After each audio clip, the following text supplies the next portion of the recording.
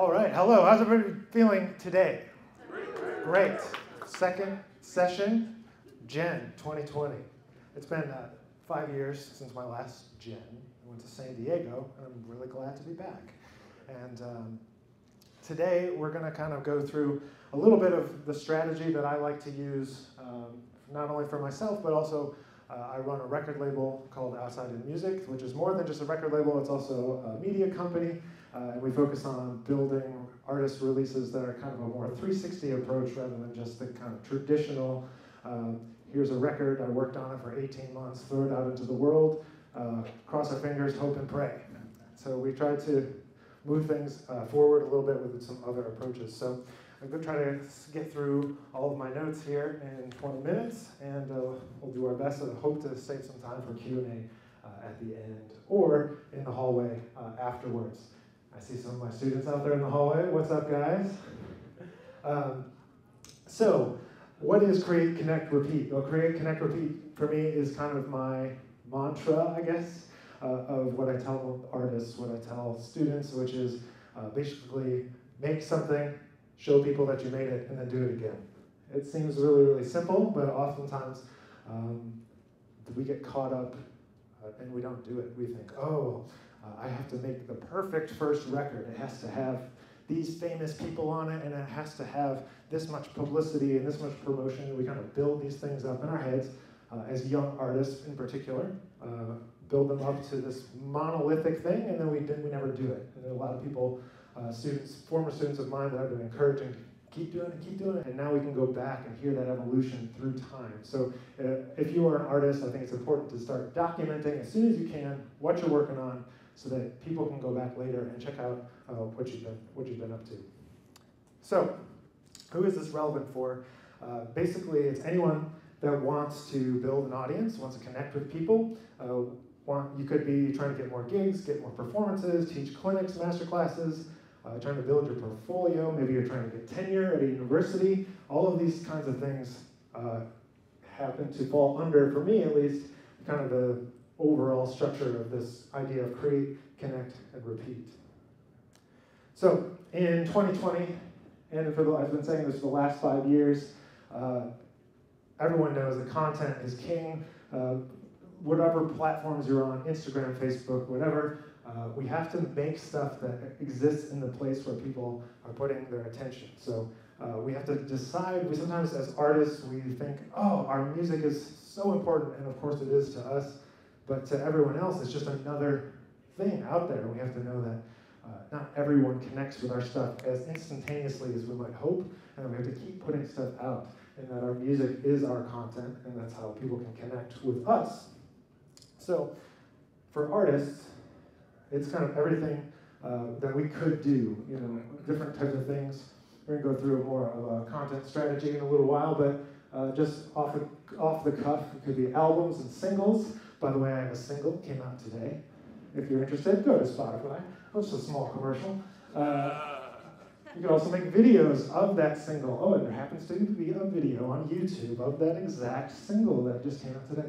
Uh, and then uh, we host um, Outside of Music podcasts that come out every single week. Uh, and then obviously we have our photos, we have your gig posters, you have sheet music that you can put up. Now you can screen record your uh, Sibelius or Finale file playing across so you can be like, check out my slick trombone voicings that are too hard to play. and then uh, you can make educational materials, uh, books, uh, etc. Kind of, those are all, at least for me, jazz education related content ideas. So, when we're trying to think about developing a content strategy, uh, when we're talking with new artists, going through artist development, kind of the things that we talk about and have them focus on is trying to develop these three things a brand voice, a brand feel, and consistency. And so that maybe seems like an esoteric thing, maybe too businessy or too many buzzwords. But really, all we mean by that is we want to have pages that feel consistent across platforms because that is you. You are your brand, and whether you want to use the word brand or not, you uh, have a visual identity you look a certain way, you dress a certain way, you talk a certain way, you're going to come across a certain way. And even if you decide that you're not going to be flashy, or you're not going to do this, or you're not going to do that, you're still making a decision uh, to not participate in these kind of things. And everyone else will decide for you what your brand is, what it looks like, and uh, if it looks the same, feels the same across platforms. So we're trying to write in a way on Facebook, on Instagram, etc. We're trying to use consistent filters. We're trying to use consistent look. You know, deciding are you going to dress and wear a suit? Are you going to wear jeans and sneakers? Are you going to wear gym clothes? Whatever it is, just be conscientious of the choices that you're making, whether you're a performer or an educator or some combination of everything. So uh, we have some like content categories. We're talking about those kind of specific things, but there's these overarching kind of concepts uh, of basically you can boil it down to it's either an educational piece of content, it's entertaining, or it's like inspirational. You you watch it because it inspires you. So um, let's see. What what app are you on on your phone right now? Taking notes. Great. So if you were to close that, the session was over. What's the first app you would open up after? Instagram. Okay. So on Instagram, what's what are some of your favorite pages on Instagram? Who do you follow? Matt Wilson. Why do you follow Matt Wilson? You like his drumming. You like his music, right? So Matt's posting stuff that's fun, right? He's posting stuff that's entertaining. He posts educational information. Sometimes he's playing, you're getting inspiration from it, or you're getting education from it. So a lot of times content can have more than one thing, but sometimes uh, it could be one part of this. So for, for example, for myself, uh, maybe I'll post uh, a video of me playing one of my tunes. Maybe it's the single from today that you could go stream on Spotify.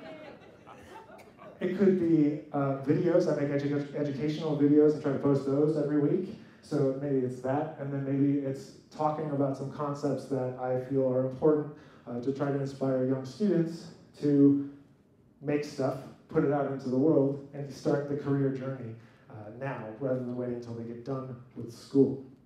So you can kind of think about, you know, if you were to open up your phone and look at the people that you're following, what types of things are they putting out? This is across genres. This is not just jazz. This is just content in general. What are people putting out? What do you want to put out? And how can you uh, use that to, to build and say the things that you want to say to build your brand uh, around those things? So some things that people do that sometimes we try to steer them away from is uh, this idea of not being consistent right? That was on the last slide. The, uh, consistency is so important for algorithms on Instagram, TikTok, YouTube, etc. You have to be consistent, especially if you're trying to put videos out on YouTube. You need to have some sort of schedule. So I know that seems uh, daunting, but I find it that if you actually schedule it into your day, it's actually a lot easier to do. I think about it as part of my job is to create that content and to put it up. I don't think, what am I going to post on Instagram today? I'm like, no, I know that today I put out a single, so I'm going to put out the album cover of the single. I'm going to put a video out. I'll probably say something. I might live stream a session that I'm talking at a jam, and then I'm going to try to tell all everyone to go listen to it so that Spotify can start generating more uh, interest in my track, so that when the album comes out in a month, that it reminds all the people that listen to that single today that hey, Nick put out a new album. So trying to get that consistency, put stuff out again and again, so people grow your audience one person at a time. So you just get bigger and bigger and bigger circles. So some other things uh, is people don't have a consistent look or feel to their page.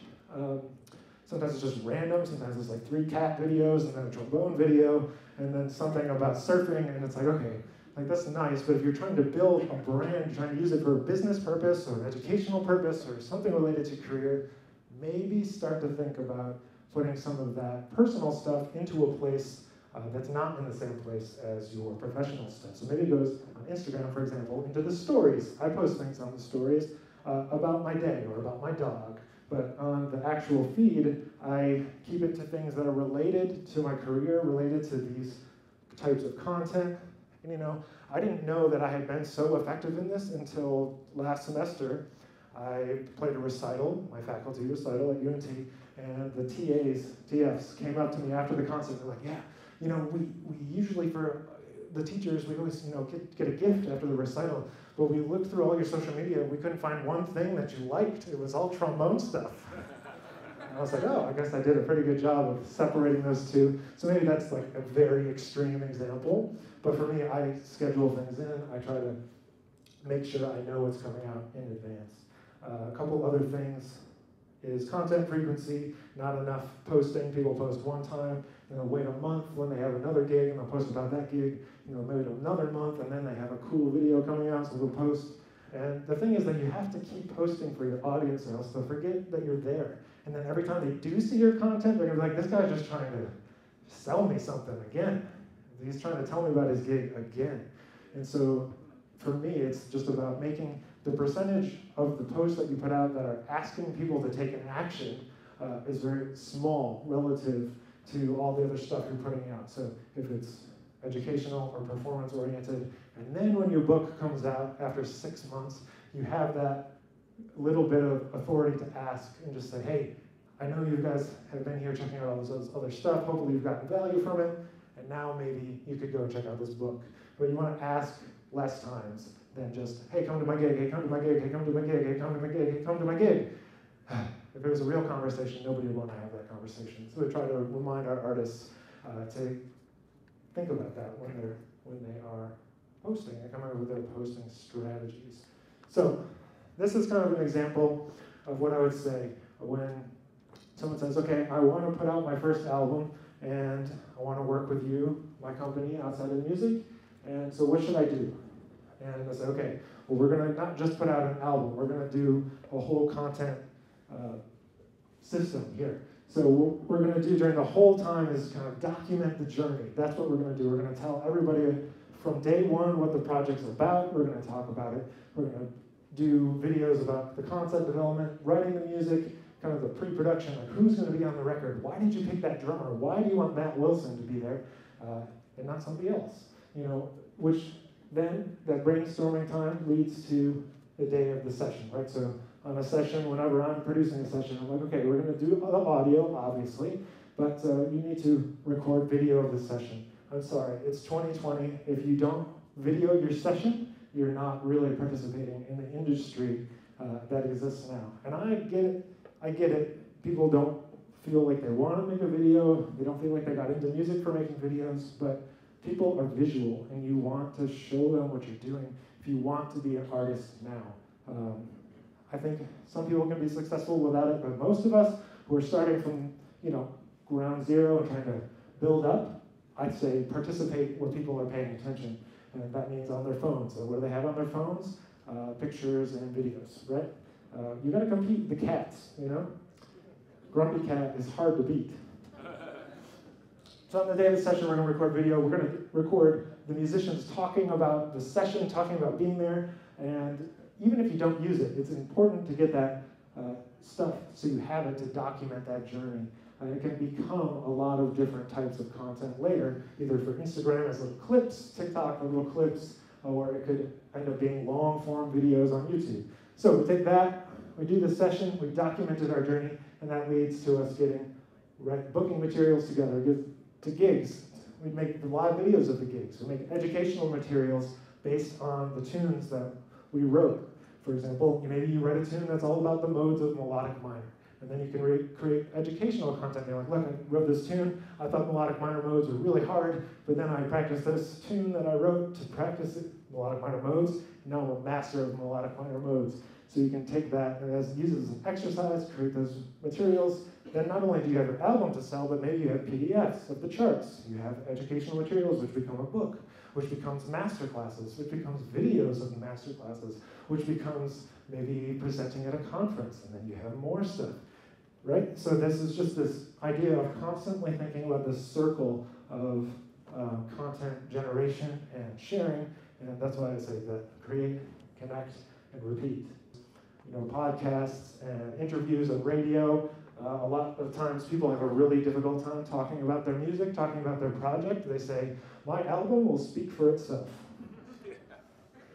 I have to say that 90% of the albums that I hear do not speak for themselves. And even though the music could be really great, it's augmented even better by having a great story behind it. And it doesn't need to be a super, um, super complicated story. It, it just needs some kind of hook, some kind of idea behind it. When it's like when someone comes and says, "This is just a bunch of songs that I really like and I put it together." It's like that's great, uh, but what else? What else can we say? What narrative can we draw uh, out of it? Sometimes we do that afterwards, right? You don't have to have the whole concept when you go into the studio. Sometimes afterwards is when we kind of piece all that stuff together and uh, make that concept. So getting able to talk about your music so you can be coherent on a podcast, on an interview, and um, get used to just speaking about your music in addition to playing. So that's what we're talking about, documenting the journey, the audio, video, written stuff, images. Um, so let's just stop for one second and say, you know, like we started talking about at the beginning, you know, a lot of times we put things on a pedestal, or sometimes, I mean, some of you are in here, I'm sure, are music educators, and you're like, well, what the heck does this have to do with me? I'm not going to do any of this stuff. I'm not trying to make an album. You know, so I think our job as educators is to inspire as many young people as we can, connect them with this music, and uh, the places where we can do that are the places uh, in someone's phone. And it's like we don't have to like that that's where the attention is, but the attention really is in the apps that are on your phone. And so we need to find ways to connect with people in those platforms. So that means you can't speak for 20 minutes about the topic. You have to figure out how to speak about it for one minute and be engaging. And just because you don't feel like that's how it should be does not mean that that's not how it is. And you're going to get a soundbite, you're going to get a YouTube video, you're going to get an Instagram story, which is 15 seconds. How are you going to come up with something in 15 seconds that can capture somebody's attention?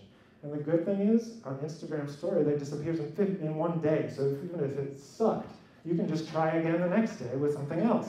And nobody will remember 99% of the time. Sometimes a student will screenshot something and be like, what is this? And I'm like, oh, never mind about that.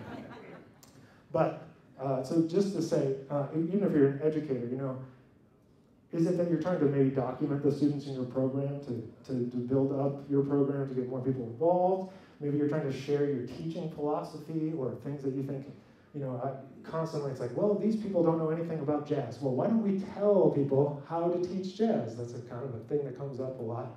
We're like, oh, my degree program did not include jazz training. Well, there's a lot of us here that could very easily give us a few tips to people that will have to teach uh, jazz that didn't have that jazz background. So getting in a position where we're just sharing and we're just trying to help people to understand what we're doing and educate them. Because sometimes we, again, put this on a pedestal. Like everybody needs to go study uh, the music at the highest level. It's like, well, no, sometimes people need to engage with it on a kind of more basic level. They just didn't have a chance to. So we try not to be in our ivory tower, or at least I try to come down from it so we can share the music, because that's what it's about, I think.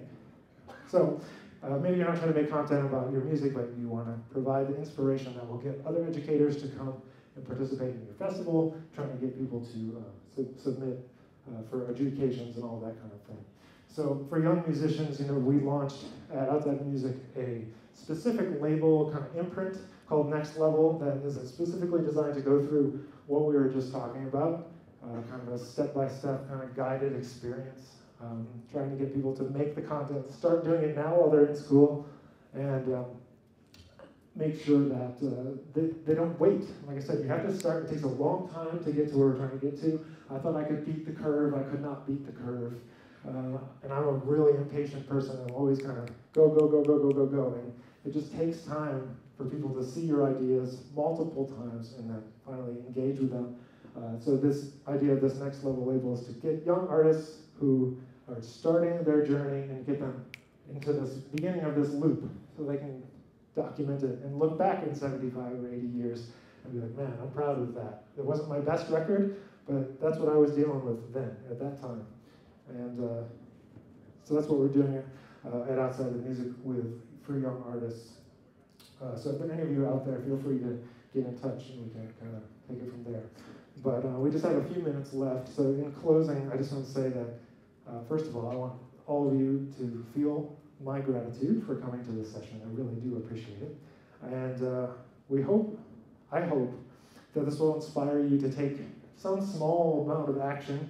Uh, maybe it's getting together with a friend and listening to recordings. Maybe it's creating a podcast where you can just talk about the things that you're practicing or the educational uh, ideas that you feel need to be in the world more. Uh, I hope you'll start to build your audience. We'll start to branch out outside of jazz. We'll stop complaining that we're losing audience, and we'll start to work to build more audience. Uh, I think you know most people are open to the idea of listening to jazz. They just think that they don't understand it. So trying to approach people in, a way uh, where they can understand it, and uh, stop putting all of your energy into one thing and just start to focus on the process. Start to focus on the long game because it's not for albums. I say it's not, it's not about one album, it's about 10 albums. It's not your first album, it's the journey through those albums that's going to define your career. And so putting one thing on the pedestal uh, is not the way to go, in my opinion. It's to focus on the process, to focus on uh, getting better, just like when we're practicing every day. So I think everybody knows how that works and just try to apply that uh, to our careers. So if you want to stay in touch, you can find, find me and find the, the company on the internet. If you take a picture of that fancy little square there, it'll take you to the website. Um, in our last couple minutes, we just have uh, like two or three. Does anybody have any questions? Yes. Uh, I use all of the things. Uh, I have that, that this is my company. I, that's the Instagram handle for my company. That's the website. I have my own website. I put everything out on Spotify, iTunes, Apple Music, etc., etc. Website, Instagram, TikTok, YouTube, uh, Twitter. I mean, at this point, I have a team that helps me with all that stuff. But for a long time, it's been just post, post, post, post. Yes. Do you think albums are still meaningful, or is it going to be more about videos, singles, smaller, digestible things? What do you think about the future of the album, nine songs? Uh, I have this conversation a lot, and I uh, think about it a lot myself. I think as an artist, it's important to think in albums because I think that uh, helps you chunk things together, it helps you come up with a concept, it helps you come up with an idea to like, for this time in my life, I'm thinking about this musical idea. Uh, so I think in the creation side, I think about albums, but then while I'm thinking about the album, I also think about how people are going to consume it at the end. So, for example, you know, I uh, the album that's coming out is kind of a through composed piece, but I, it's made up of 14 tracks that are five minutes or less, so that it can be digested either on the radio or Spotify in smaller chunks, because I know that that's how it's going to be consumed. It's not going to be listened to all the way through uh, by one person. So uh, I encourage artists to do singles and albums, and because the usual 18 month turnaround time is too slow. You need to get in front of people every couple of months. So I try to uh, encourage that. Whatever's going to help you go the fastest, even if it's just a cover album of your favorite jazz standards that you release as singles. Yes? Is jazz on FM radio dead? No.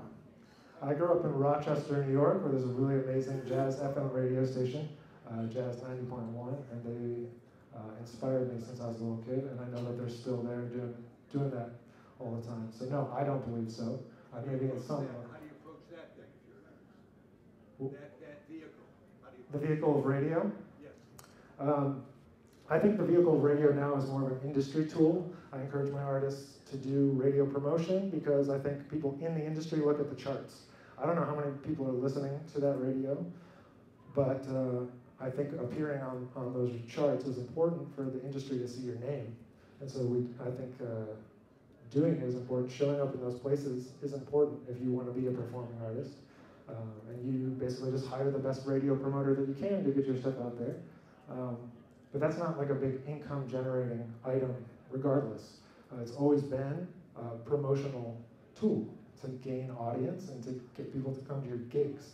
So um, I think that's just as valuable as ever to be on the radio, uh, to try to, if you're not there, the people don't know who you are. That's how I feel about it. That's why I say go on YouTube, go on Spotify, because if you're not there, people won't be able to discover you, in my opinion.